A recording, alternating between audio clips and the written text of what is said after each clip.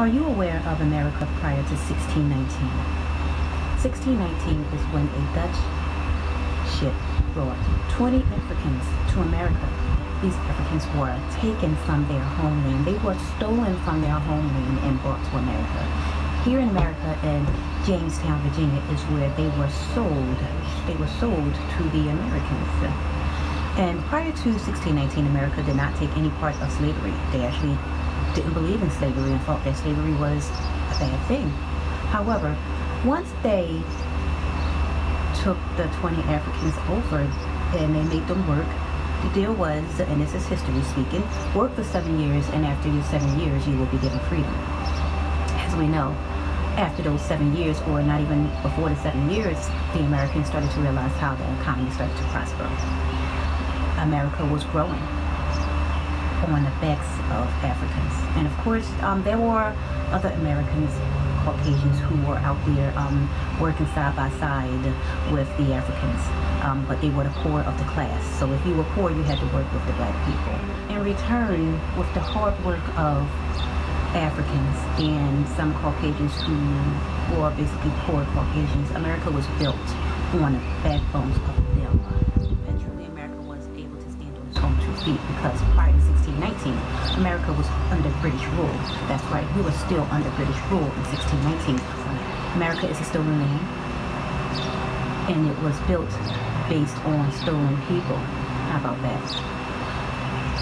when the first Africans arrived here in 1619, America saw that the economy was starting to thrive. We Africans were considered black gold because it brought, because they brought prosperity to the country. Again, black gold is what the first Africans were called when they originally came to this colony. However, they eventually lost their name as the years went on, and then they became the N-word all nigger means is black in Spanish. It is a color. And as you know, we are not black, we are brown, just like the whites are not white. Africans were stolen. They were brought to America on a Dutch ship, Jamestown, Virginia, and here they were traded off. Promised freedom if they worked seven years. And as we know, that freedom never came because the Americans went back on their word. And eventually, they ended up adopting slavery and making slavery legal. Can you believe that? And if any slave tried to escape, it was punishable by death. Unbelievable. So you didn't have a right to want to be free. You didn't have a right to want to stand on your own two feet. However, it was because of the hard work and dedication of those first 20 slaves that made the country what it is. And let's not forget that and let's understand that that is true and that is a fact. History shows that. People forget that. As people also forget that they were called black gold yes, black gold, because they made America. I just wanted to know if you knew that. And if you did not, now you do. All of that is written in my book, Sheep in the Midst of Wolves. Who's the sheep and who's the wolf? It all depends on perception. And that is a story. This is my diary that I wrote a couple of years ago. And I felt as though my diary was had enough information in it, shall I say, to, to share it with other people besides my family. So I published this diary. This book was published two years ago, um, prior to all of this. And um, I've never spoken about this chapter, Black Gold. Only the people who read it would um, know the chapter Black Gold. But I wanted to speak about it here today and shed light on it here today. Um, and it says, considering African American history, I want to I want to proclaim, as long as you know that I know that we belong here. Black gold was the term used in reference to the first Africans brought to America by the Dutch on a slave ship in Jamestown, Virginia in 1619. The 20 Africans were promised freedom if they worked for seven years. Their labor helped to build the America, the America economy. Before their arrival, America wasn't thriving, according to History.com. The country was constantly battling Native American warriors and was still under British rule our nation realized how prosperous the economy had grown since the arrival of the Africans and they decided to purchase more African slaves. This decision ultimately influenced America to recant their original agreement and Africans were forced to work beyond their initial seven years, beyond their seven years. The Africans were valuable and considered black gold. I repeat that. The Africans were valuable and considered black gold. In 1641, slavery was legalized. They came here in 1619. They were prosperous. They labored. They helped build the economy so much. In 1641, slavery was legalized. Africans became property of their slave owners and they were treated like animals. They were never given a freedom as promised and eventually lost their original title as black gold and the N-word then took over. That is your history. That is the first chapter. That is an excerpt from my book, Sheep couple years ago, not that long ago. I also wrote a chapter about freedom riders. If you guys remember the freedom riders, that is when Caucasians and African Americans rode the bus throughout the states and when they reached Alabama this is where it gets really violent but not by the freedom riders part but by the racist Americans when they beat the freedom riders blacks and whites were beaten and some were even killed including the white people including the Caucasians the innocent Caucasians the Caucasians that wanted to help were beaten and some of them were even killed and in the end, when the cops came, guess who were arrested? The Freedom Riders and the injured Caucasians who rode with the Freedom Riders who was writing for freedom. They were jailed. They were arrested. Not the racist Americans. Not the racist Americans who beat the Freedom Riders. Not the racist Americans who killed people on that bus. They were let go. Because this is America where racism is now part of the way of being. Let's also speak about the sit-in movement I have a chapter in this book as well, an excerpt in this book as well, speaking about um, the sit-in movement. I'm sorry. The sit-in movement is when a bunch, bunch of peaceful protesters, a lot of them were college students, went into a racist part um, in the South and sat at the counter. Caucasian, racist, the racist Caucasians threw milkshakes, threw water, threw food, and all types of things that they can get their hands on, on the people who sat on these stools in that restaurant and, and a peaceful protesters sat there.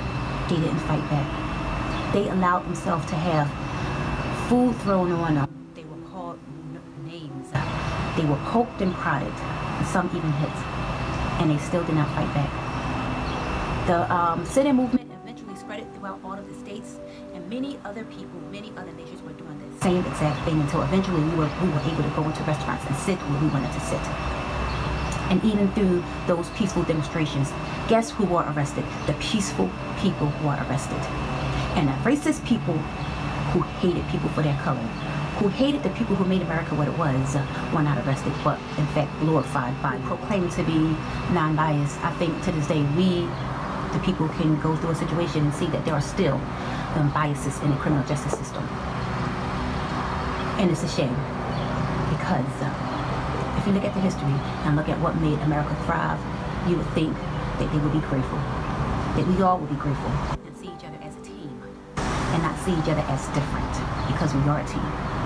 I am African American, but my ancestors are African and they were stolen from their land and they were brought here against their will and they were forced to work and they were promised freedom after seven years and they were never given that freedom anything. We have a right to protest. We have a right to be angry. We have a right to want what's due to us.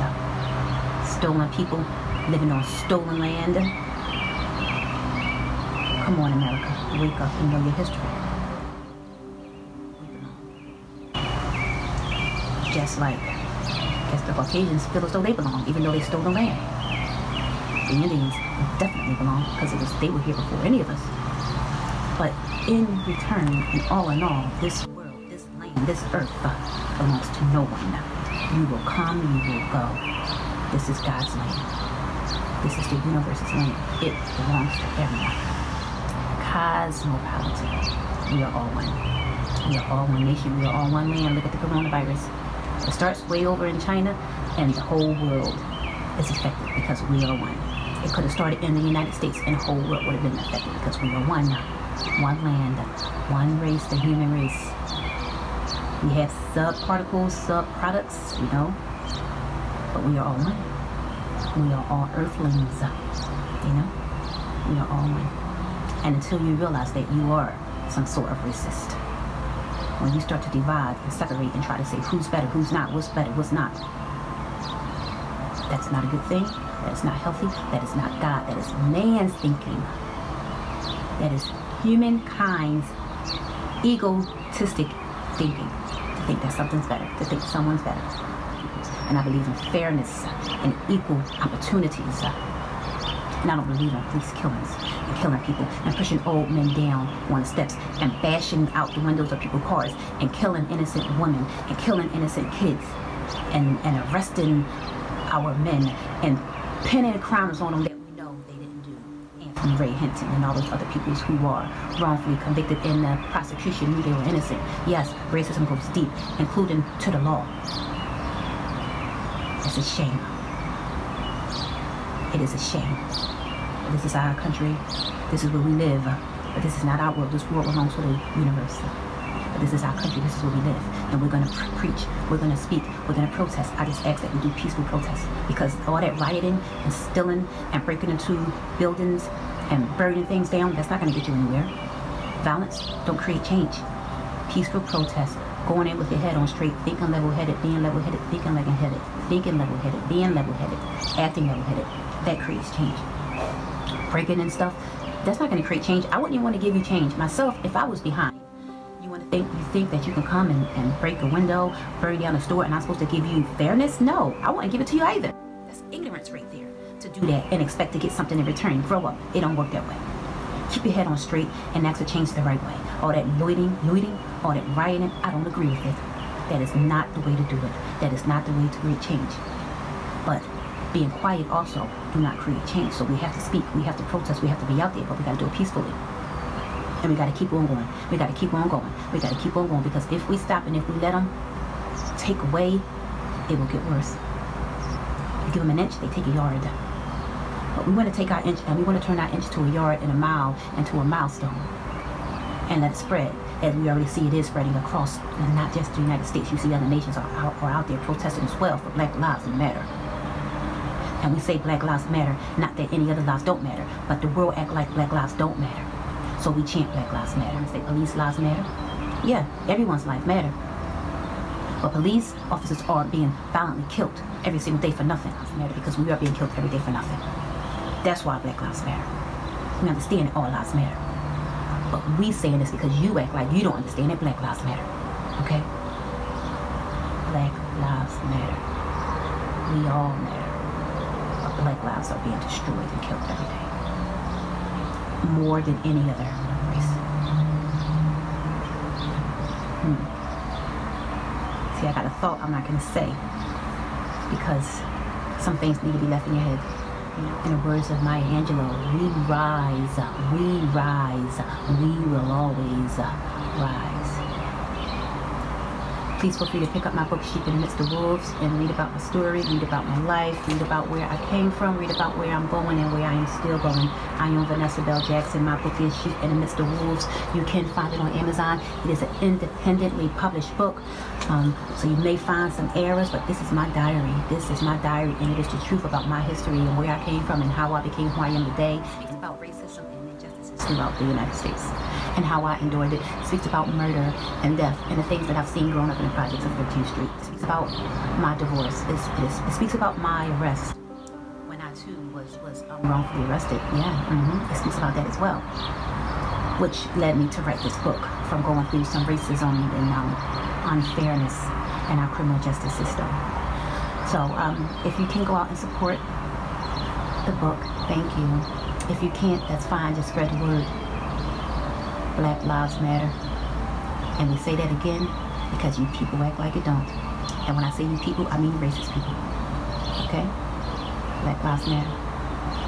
Namaste.